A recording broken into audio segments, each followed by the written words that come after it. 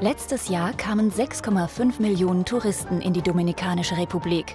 In den nächsten zwei Wochen wird Thilo in verschiedenen Ressorts absteigen. Er will erfahren, wie All-Inclusive-Tourismus funktioniert und was die Urlauber vom Leben außerhalb der Hotelanlagen mitbekommen. Das berühmte Armbändchen, Erkennungszeichen aller All-Inclusive-Touristen, ist Thilos Eintrittskarte in eine Welt, die ihm bislang fremd ist. Bisher habe ich Länder immer auf eigene Faust erkundet. Nun wird mir klar, was Millionen Menschen an dieser Form des Urlaubs schätzen. Es ist um elf und es ist Zeit für meinen äh, Lieblingscocktail. Pina Colada. Wirklich, ist mein Lieblingscocktail.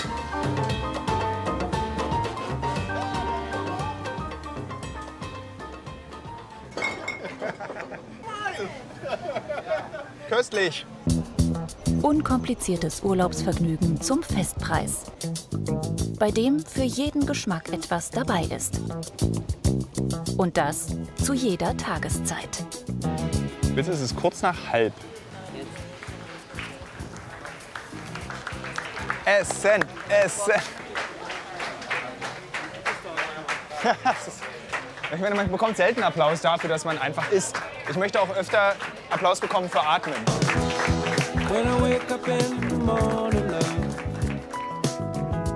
All inclusive. Das bedeutet unter anderem mindestens drei Mahlzeiten am Tag, bei denen man sich genussvoll den Bauch vollschlagen kann. Für Thilo eine ungewohnte Erfahrung. Also so, wenn ich reise, bin ich ganz oft unterversorgt. Entweder so, ich weiß noch nicht, welches Hotel ich habe, äh, hoffentlich kriegen wir was zum Mittag. Ähm, kann ich meine Wäsche morgen waschen oder muss ich jetzt den nächsten Tag noch mal einen Schlüpfer anziehen, den ich schon seit drei Tagen anhabe? Bei All Inclusive ist das genau das Gegenteil. Also jede Aktivität, die man hier machen kann, kann man immer mit sauberer Wäsche machen oder mit Essen in der Hand oder mit etwas zu trinken in der Hand. Daran muss ich mich einfach erst noch gewöhnen, dass man einfach immer beschäftigt ist. Ob im Mund oder im Kopf, spielt keine Rolle. Immer beschäftigt. Um die paradiesischen Strände zu erleben, muss man die Hotelanlage nicht verlassen. Denn die meisten Resorts haben einen eigenen Strandzugang. Die Probleme wie die Armut der einheimischen Bevölkerung scheinen hier weit weg. Wie nehmen die Touristen das Urlaubsland wahr? Und was genau lockt sie hierher? Allein im letzten Jahr sind über 200.000 Deutsche in die Domrep geflogen. Dieses Jahr ist auch Kevin unter den Urlaubern. Würdest du dich selber als Pauschaltourist bezeichnen?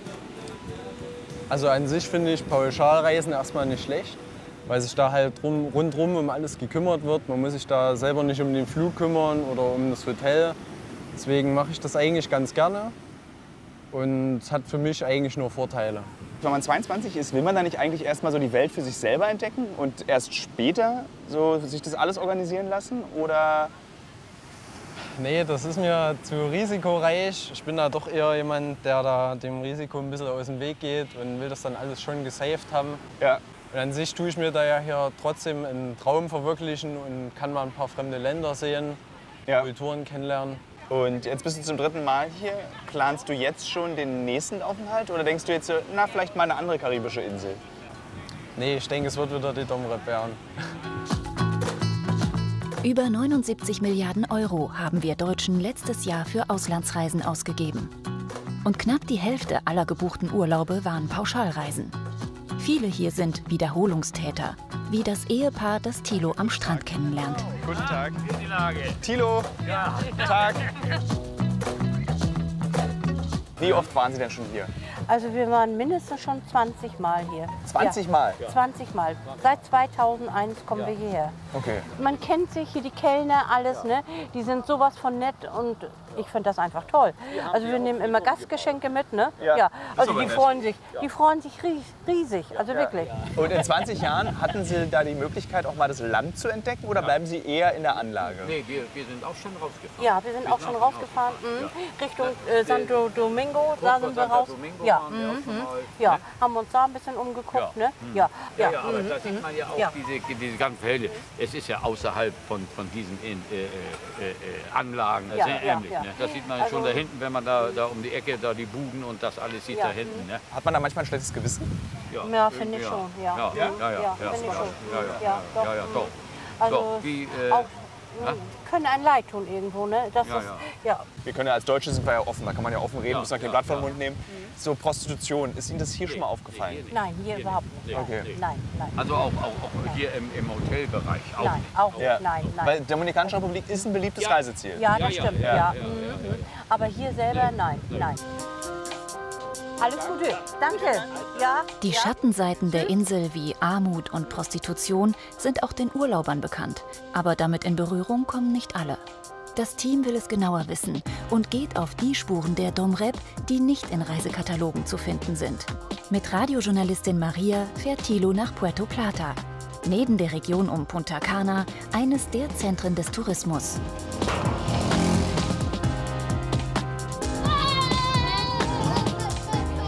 Den Straßen der Stadt sehe ich heute keine Touristen. Aber wer muss schon in den Ort fahren, wenn im Hotel alle Annehmlichkeiten zu finden sind?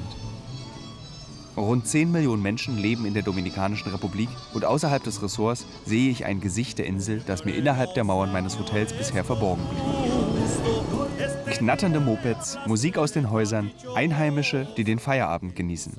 Aber die Idylle hat auch etwas Trügerisches. Mehr als 30 Prozent der Menschen im Land leben unterhalb der Armutsgrenze.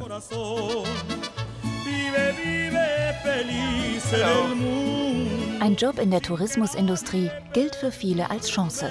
Einer von 13 Dominikanern arbeitet in diesem Sektor. Während unseres Drehs hier kommt Maria mit einer dieser Arbeiterinnen ins Gespräch. Vamos. Ach, wir hatten eigentlich vor, dass wir so ein bisschen so Straßenbilder drehen.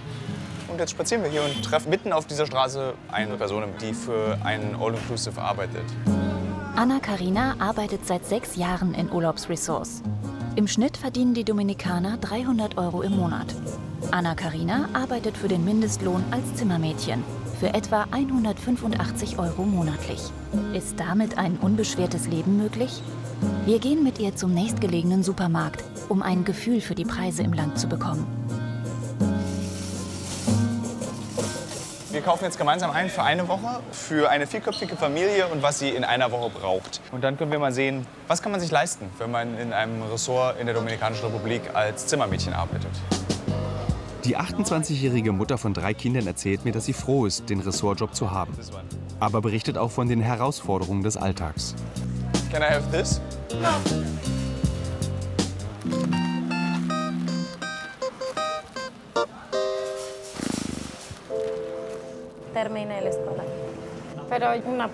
Ich habe zwar einen Schulabschluss, aber ich habe trotzdem nicht viele Möglichkeiten.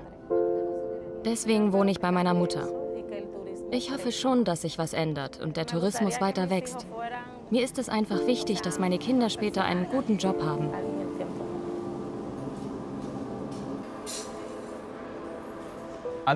Kommt es vor, dass du nicht weißt, wie du deine Kinder ernähren sollst? Ja? Was machst du dann? Dann muss ich mir Geld leihen.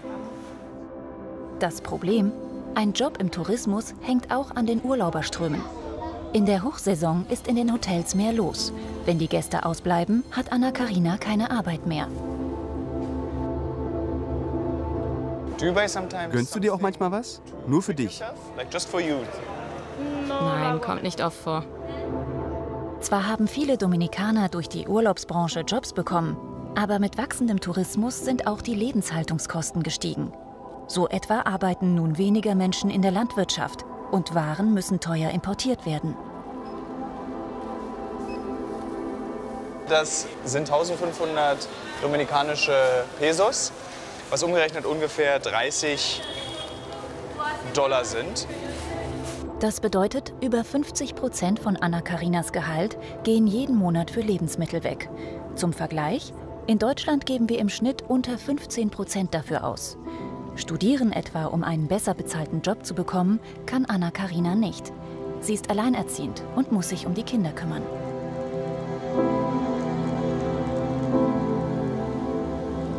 Ausgerechnet in einigen touristischen Zentren des Landes, wo die Bevölkerung Arbeit finden könnte, fehlt es an Schulen, Einkaufsmöglichkeiten und Wohnungen.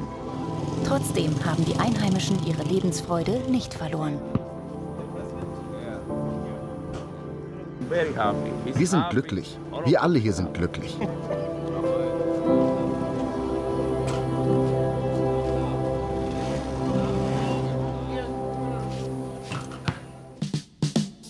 Nur wenige Kilometer trennen diese Straßen von den Urlaubsanlagen.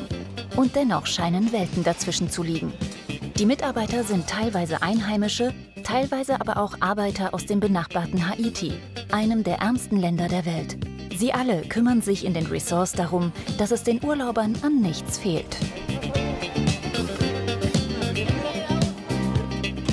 Vor allem für das leibliche Wohl der All-Inclusive-Touristen wird gesorgt, bei wirklich jeder Gelegenheit. Kaffee, Softdrinks, Cocktails sind rund um die Uhr verfügbar. Und jedes Mal gibt's einen neuen Becher.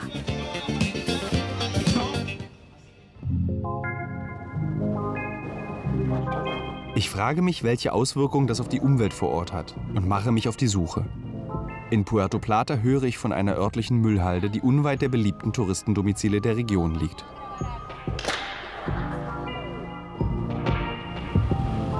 Es war gerade sehr einfach, auf diese Müllkippe zu fahren. Ich hätte damit mehr Schwierigkeiten gerechnet, um ehrlich zu sein, weil Müllkippen sind ja nicht unbedingt das, was man einem deutschen Fernsehteam zeigen möchte. Nach seinen Erlebnissen der letzten Tage hat Thilo eine Ahnung, woher ein Großteil dieser Abfalllandschaft stammt. Es ist sehr einfach rauszubekommen, ob der Müll hier von den Ressorts ist. Man muss einen Meter aus dem Auto laufen und dann gucke ich auf den Boden und ich finde mehrere Plastik-Shampoo-Flaschen von unserem Ressort. Ich würde sie jetzt einfach auch mal anfassen.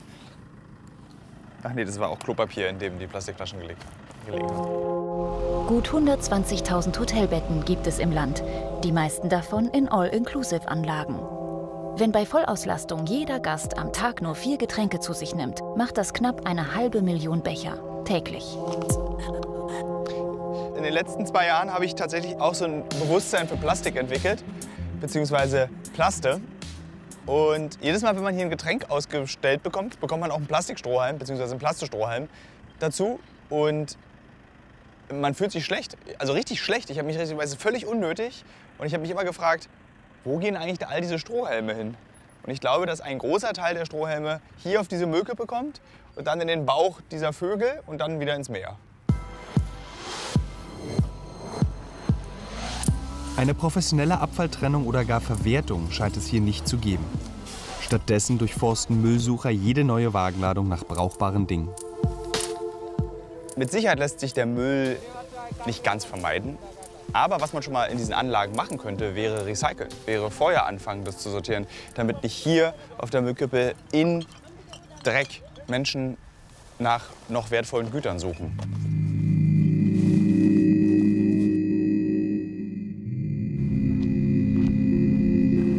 All das, was die Müllsammler gebrauchen oder zu Geld machen können, nehmen sie von der Deponie mit. 7200 Tonnen Müll werden täglich in der Dominikanischen Republik produziert. Laut einer Studie der UN werden 40 Prozent davon durch den Tourismus verursacht.